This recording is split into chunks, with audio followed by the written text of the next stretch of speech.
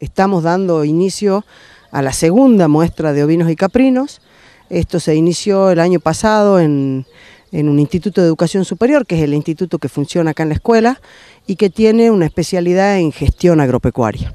La verdad que nosotros apuntamos en todos los casos de, las, de los establecimientos agropecuarios justamente a una especialización y en este caso en la Tecnicatura en Gestión Agropecuaria la idea que tuvieron ellos eh, fue organizar una actividad de este tipo donde invitaron a cabañas no solamente de Salta sino también del resto de las provincias del país, vemos expositores que trajeron sus animales pero también escuelas agropecuarias em, del nivel medio.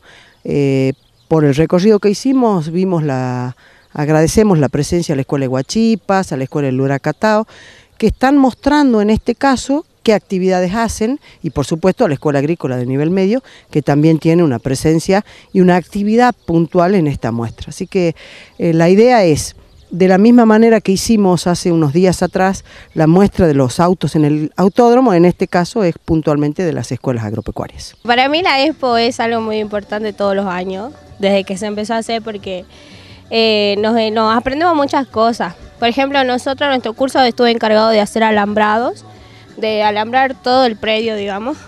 Bueno, acá tenemos muchos animales ¿sí? y aprendemos mucho. Nosotros salimos de acá con un título muy bueno, la verdad. Eh, y no sé, a, a mí me encanta, me encanta la expo, me gusta venir, ver.